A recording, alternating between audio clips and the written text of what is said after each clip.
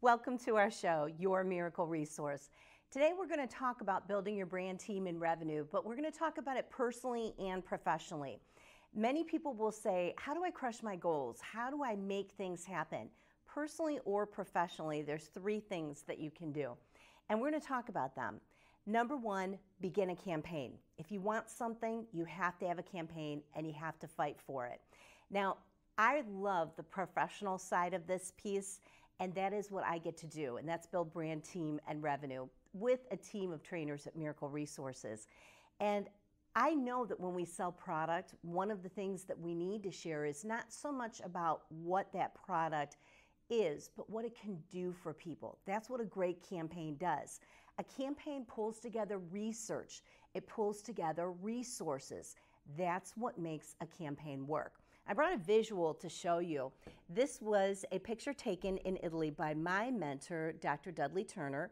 Uh, Dr. Turner is not only an exceptional photographer, but an excellent communicator. And he gave me this, and I love it. It's called The Lady and the Lion because it really represents a campaign.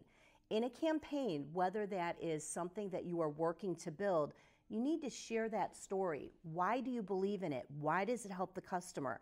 And you have to have the resources as well. For example, she's a warrior. Take a look at this picture. She has a tribe. She has built a campaign.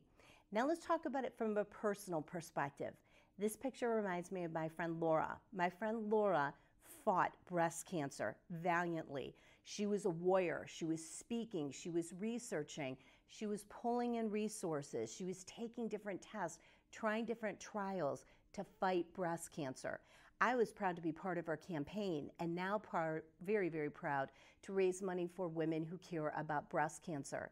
So being a campaigner means that no matter what you want, personally and professionally, you have to do the research and you have to have the resources to be able to build your campaign to make those goals happen. Now let's take a look at the second area. It's about building a team behind that campaign, building a tribe of people who will help you make that campaign happen.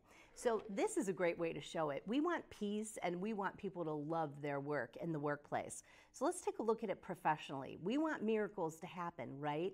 But to get people to work together in a peaceful manner, respectful manner, that takes training. That's why we started Brand Plus Team Equals Revenue, our national training program. Now, with more than 50 trainers across the country, our campaign is to get people to build brands, teams, and revenue. But if they're not working well together and they're not communicating, we can't really build that team and make the miracles happen.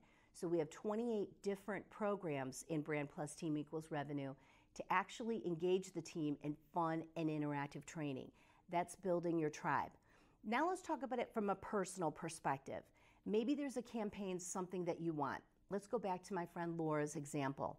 When she was fighting breast cancer, she built a tribe, a team. She educated us on what she was going through. She worked extremely hard to make sure that we understood and always fighting for people to get their mammogram for early and again prevention. So, building a team around what you want to accomplish is key. Then, the final part and that is your voice. Now, I love speaking and I love helping people with the topics that I speak on. Now, most people say, but Katherine, I'm really terrified to give a speech. I understand. I grew up with selective mutism. Most people don't know what that is. It's a social anxiety that I had as a child. My mother did resources with me. She found research to help me, and little by little by little, we worked on baby steps to get me comfortable to come up and speak. Now I speak across the country. And the voice in which you use to educate people about your campaign is your mindset. When I work with people as a communication concierge, they'll come to our private office in a confidential setting and they'll share with me, Katherine, I'm terrified to speak.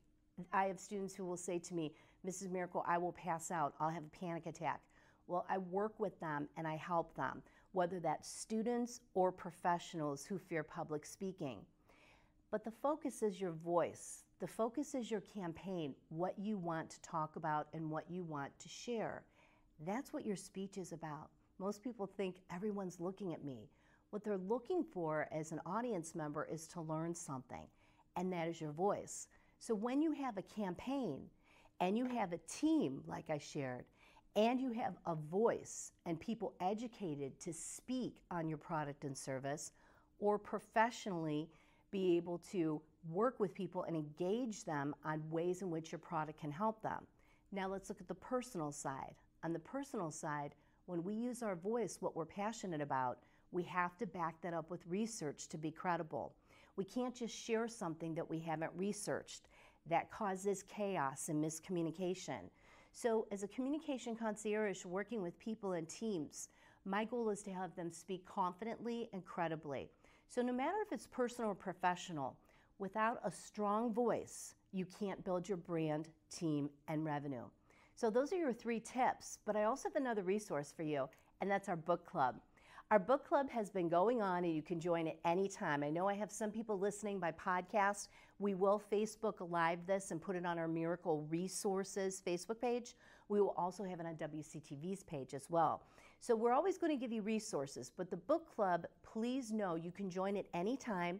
The resources are valuable for you. They help you not only look at what you want internally, but how you can make it happen externally.